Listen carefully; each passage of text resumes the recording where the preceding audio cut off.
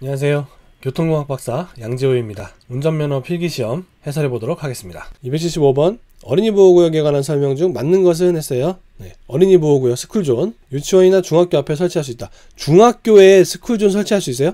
없어요. 왜냐하면 중학생은 어린이가 아니에요. 어린이는 13세 미만인 사람을 말해요. 그렇기 때문에 중학생은 13살 넘잖아요. 그렇기 때문에 얘들은 어린이가 아니기 때문에 어린이 보호구역을 설치할 수가 없어요. 그렇기 때문에 이건 틀렸죠.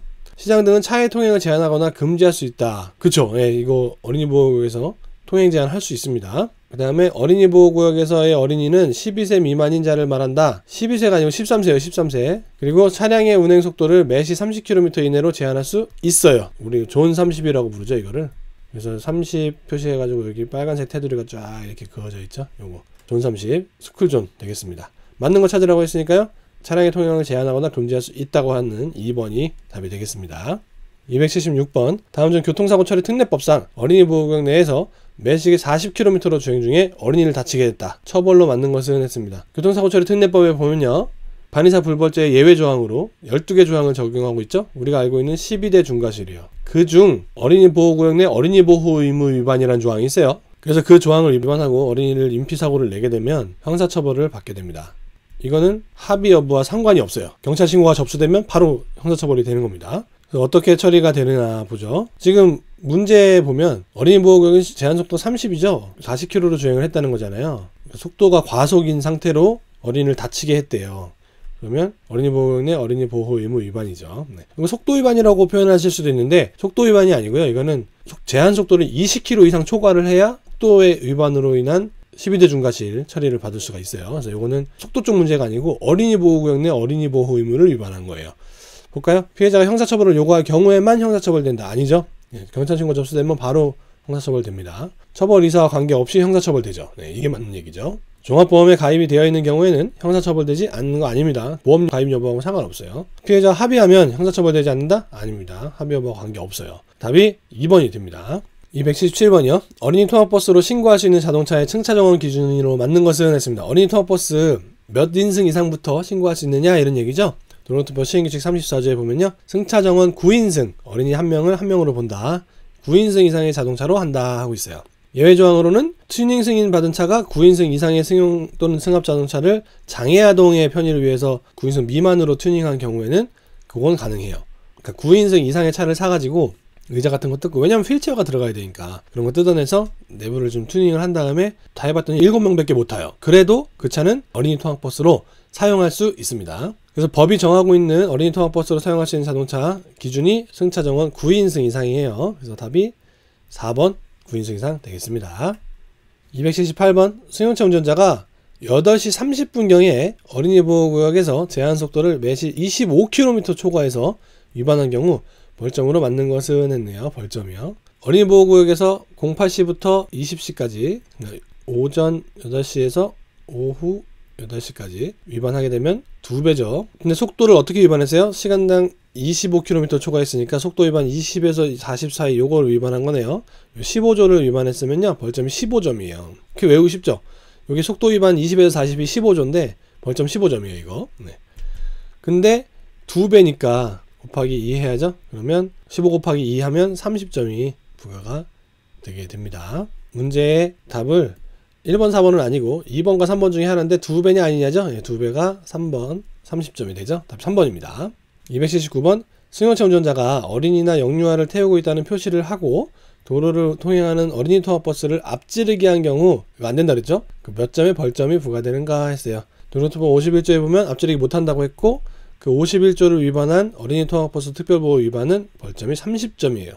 답이 3번이죠. 30점이나 돼요. 벌점 엄청 세죠. 30점 벌점이면 어떤 거랑 비슷한 거냐면 중앙선 침범 있죠? 그 정도 불법이에요. 노란불만 깜빡깜빡거리고 있는 어린이 통학버스 앞지르기 하면 안 되는 겁니다. 단속 때도 할 말이 없어요.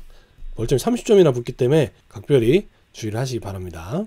280번 도로교통법상 어린이 통학버스 안전교육 대상자의 교육시간 기준으로 맞는 것은 했네요. 어린이 통학버스 안전교육 대상자, 어린이 통학버스 운전하시는 분들 있죠? 그 운전하시는 분들도 교육을 받아야 돼요. 그 몇 시간 받느냐 이런 거죠. 3시간 받습니다. 3시간. 도로교통법 시행 영상 예, 시청각 교육 등의 방법으로 3시간 이상 실시를 하게끔 되고 있어요. 그 운전하시는 분들 있죠. 그 어린이 통학버스 운전하려면 교육 받고 하셔야 됩니다. 요거 3시간이다. 답이 2번이 되겠습니다.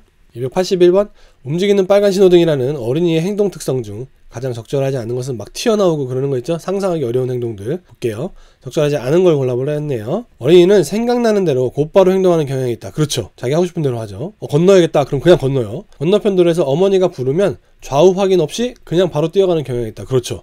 애들 누구야 이렇게 부르면 애들 그냥 뛰어오죠. 예, 아주 위험하죠. 횡단보도에 보행 신호가 들어오자마자 앞만 보고 뛰는 경향이 있다. 그렇죠. 애들 초록불만 보고 있습니다. 그러다가 빨간불 딱 보다 초록불 딱 바뀌면 그냥 뛰어나가죠. 예, 그런 특성이 있고 어린이는 행동이 매우 느리고 망설이는 경향이 있다. 애들은 망설임이 없죠. 왜냐하면 그런 두려움 자체가 없기 때문에 그냥 바로 행동으로 옮깁니다. 요거는 답이 4번이 되겠네요. 적절하지 않은 걸 찾으라고 했으니까요. 4번이 답이었습니다. 282번 승용차 운전자가 13시경에 어린이 보호구역에서 신호 위반을 한 경우 범칙금 얼마인가 했습니다. 13시니까 요거 오전 8시에서 오후 8시 사이에 지금 속하죠. 네, 그렇기 때문에 지금 곱하기 2가 되고 있는 상황이에요. 그때 신호 위반을 했대요. 신호 위반 하면은 범칙금이 원래 6만 원이에요. 승용차의 경우에 승용차 6만 원이거든요. 그거 범칙금이 두 배라고 했으니까 곱하기 2 하면 12만 원이 되겠네요. 12만 원의 범칙금이 부과가 됩니다. 답이 3번이네요. 283번 어린이가 보호자 없이 도로에서 놀고 있는 경우 가장 올바른 운전 방법은 했네요. 어린이의 어떤 위험한 상황을 봤을 때 차량 운전자 어떻게 해야 됩니까? 일시정지 해야 됩니다. 어린이 잘못이므로 무시하고 지나가요? 안 되죠. 경운기 울려서 겁줘요? 안 되죠. 일시정지 해야 된다? 맞죠. 네. 그리고 어린이의 조심하며 급히 지나간다? 틀렸죠. 예, 일시정지를 해야 된다는 거죠. 일시정지 문제들이 많죠. 그래서 답을 딱 보셔서 잘 모르겠다 싶으시면 뭐 일시정지 해야 된다 한 문제가 이제 맞는 거죠. 거의 대부분의 경우에. 모르시면은 일시정지 찍으시면 됩니다. 3번이 답이었습니다. 284번 어린이가 신호등 없는 횡단보도를 통과하고 있을 때 올바른 운전 방법은 했네요. 신호등 없는 횡단보도요. 네, 횡단보도만 딱 그려져 있는 거예요. 그때 어떻게 합니까? 어린이가 건너고 있으면 횡단보도 앞에서 일시정지 해야죠. 일시정지가 답이라고 했습니다. 일시정지 해야 되는 거고 횡단보도 부근을 횡단하고 있는 보행자는 보호할 필요가 있죠. 예, 무단횡단 보행자도 지켜주잖아요. 그죠? 횡단보도 정지선을 지나쳐도 횡단보도 내에만 진입하지 않으면 된다? 아니죠. 정지선을 준수해야 되죠. 어린이를 피해서 횡단보도를 신속하게 통과한다? 신속하게가 틀렸죠. 네. 일시정지 한 다음 위험 요소가 없으면 서서히 통과하는 거죠. 뭐 답은 횡단보도 앞에서 일시정지한다? 1번이 되겠습니다. 285번 어린이 통학버스가 편도 1차로 도로에서 정차하여 영유아가 타고 내리는 중임을 표시하는 전멸등이 작동하고 있을 때 반대 방향에서 진행하는 차의 운전자는 어떻게 해야 되는가 했습니다. 편도 1차로 도로래요. 편도 1차로 도로가 어떻게 생긴 거예요? 이렇게 생긴 거죠. 차로가 한 개밖에 없는 거예요. 이렇게 다니는 도로인데 여기서 어린이 보호 차량이 영유아가 타고 내리고 있음을 표시를 하고 있어요. 딱 빨간 불이 전멸이 딱 깜빡깜빡하죠. 그때 이 반대 방향에서 오는 이 차는 어떻게 행동해야 하는가 하는 거죠. 일시정지에서 안전을 확인한 후 서행해야 된다. 이게 맞죠. 왜냐하면 이 편도 1차로 도로는 중앙분리대가 따로 있지 않거든요. 네. 그렇기 때문에 조심해서 일시정지를 한 다음에 확인 후 서행해야 됩니다. 서행하면서 안전 확인한 후 통과한다. 이게 안 된다는 얘기예요. 일시정지를 반드시 해야 돼요. 일시정지를. 그대로 통과하면 안 되고요. 경운기 쓰면 안 됩니다. 요거는 맞는 거. 일시정지에서 확인 후 서행한다. 답 1번이 되는 거죠. 286번 교통사고로 어린이를 다치게 한 운전자의 조치 요령으로 틀린 것을 했습니다. 어린이 사상했을 때 어떻게 해야 되는가 하는 거죠. 바로 정차하여 어린이를 구호하여야 한다. 맞죠? 어린이에 대한 구호 조치만 정확하게 맞추면 경찰 관서에 신고할 필요가 없다 했어요. 신고할 필요 없지 않습니다. 이런 사고가 나면요. 무조건 경찰 공무원이나 경찰서에 신고를 반드시 해야 됩니다. 이거는 틀린 거죠. 경찰 공무원이 현장에 대기할 것을 명한 경우에는 그에 따라야 한다. 그죠? 기다리고 있어야 되죠. 교통사고 사실을 다른 운전자들이 알 수 있도록 신호하는 등 후속 사고를 방지해야 된다. 그죠?